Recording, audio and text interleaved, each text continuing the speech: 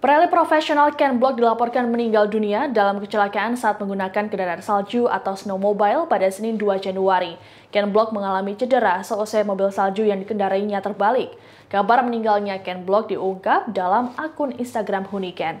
Menurut pihak Huniken, Ken Block mengalami kecelakaan di Wasatch County, Utah, Amerika Serikat. Kecelakaan bermula ketika Ken Block melewati lereng curam. Kala itu, mobil saljunya terbalik. Drifter kawakan tersebut dinyatakan tewas di lokasi kejadian karena cedera yang diderita. Sementara itu, menurut kantor Sheriff Wasatch County, Ken berkendara bersama rombongan, namun saat kecelakaan, dirinya seorang diri. Ken Block mengembuskan nafas terakhirnya di usia 55 tahun dan meninggalkan seorang istri serta tiga orang anaknya. Untuk diketahui, Ken memulai karir rallynya pada 2005 silam. Ia dinobatkan sebagai Rookie of the Year di Rally America Championship. Ken sempat berkompetisi di World Rally Championship dan memenangkan beberapa medali rally cross di X Games. Semasa hidupnya, Ken Block juga ikut mendirikan perusahaan pakaian olahraga DC Shoes dan memproduksi serial video Gymkhana.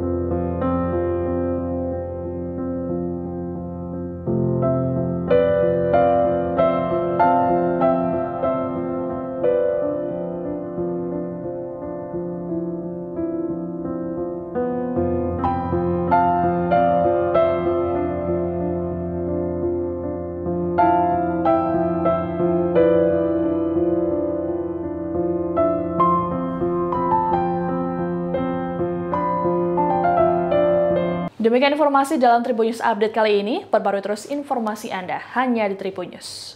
Terima kasih sudah nonton. Jangan lupa like, subscribe, dan share ya.